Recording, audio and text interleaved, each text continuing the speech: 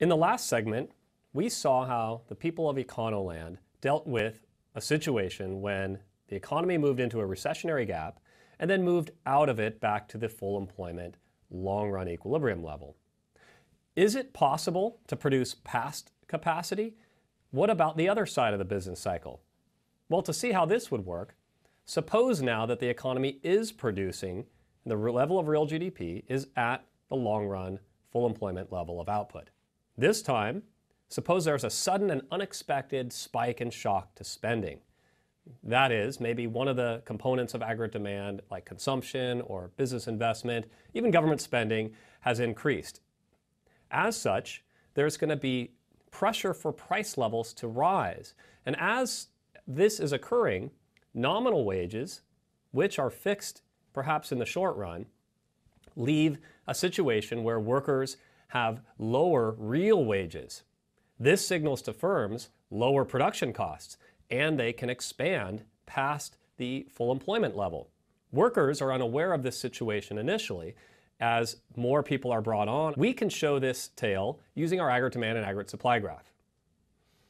The increased spending levels, either from the government, consumption, or business investment, leads to an increase in the aggregate demand. As firms are trying to expand, they can do so at lower real wages from workers. This enables total output in the economy to increase past this full employment level, with pressure on prices to rise. Moreover, this is the other side of the business cycle. The economy is heating up. Economists would say we are in an inflationary gap. In fact, that also can be shown on our aggregate demand aggregate supply model as the distance between the current level of real output and the capacity full employment level RY1. This is called an inflationary gap because now we're in a situation where there's even further pressures for price levels to rise as the economy is producing past its full employment level. So now at the top of the business cycle, we are in a situation where the level of unemployment is actually lower than the natural rate. We are producing past capacity. How would the economy respond here? Well, if we look at the two schools of thought, we will show how, what their thinking and what their logic is as to how the economy returns back to its capacity. Let's start with the classical economists. The classical economists are going to point to the fact that markets across the board, including labor markets, tend to adjust on their own. Now, since unemployment rates are lower, there's a shortage in the labor market. It is harder for firms to find workers. And so there's pressure for nominal wages to rise. As these wages rise, firms cut back. Firms produce less than before, and overall, the economy will produce less, actually closer back to its long run capacity. Let's show the adjustment using our aggregate supply and aggregate demand model. The classical economists are going to point out that as unemployment rates are lower, there's a shortage in the labor market. And so there are pressure for wages to rise. As these nominal wages do rise, the short run aggregate supply curve is going to shift back to the left, leaving us and leaving the people of Econoland at a level of real output that's consistent with the long run capacity, only now at a higher price level as wages have continued to rise. So the classical economists would point out that as markets adjust on their own, as labor markets adjust on their own to a heated economy, to a situation where unemployment rates are lower, a rise in nominal wages, a rise in wages in response to a shortage in the labor market would lead the economy to produce back towards its level of real GDP that is consistent with the long run, now only at a higher price level. This also shows that the classical economists would point out that the long run aggregate supply curve is more in line with their views of what aggregate supply in the economy looks like in general.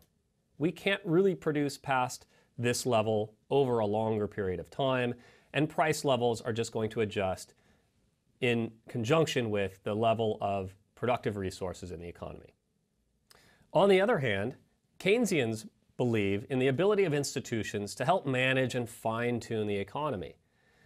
They would stress that the use of the government or the central bank can be useful measures to bring the economy back towards its full employment rates, to bring the economy back to a level that's consistent with our capacity, but their point of view will allow us to do so at lower price levels. Here's how the story would work. The Keynesian would say that we could use contractionary fiscal policy or contractionary monetary policy to reduce overall spending in the economy.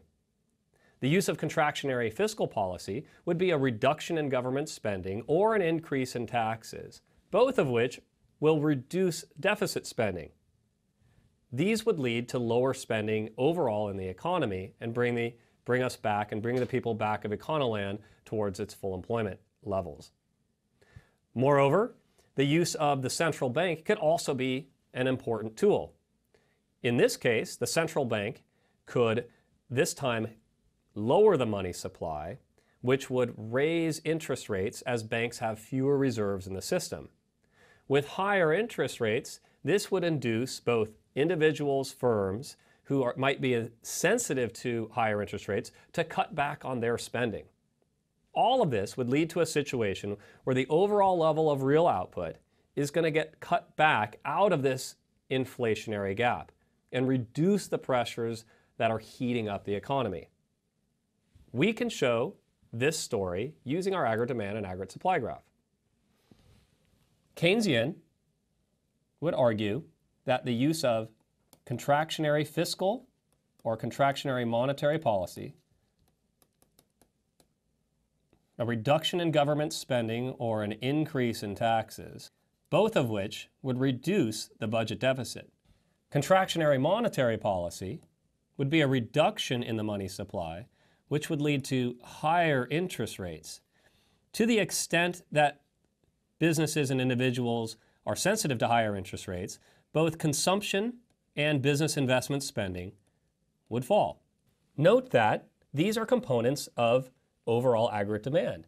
Consumption and investment through the use of contractionary monetary policy, a cut in government spending, or a raise of an increase in taxes that would lead businesses and individuals to cut spending, all of which would make the aggregate demand curve shift to the left.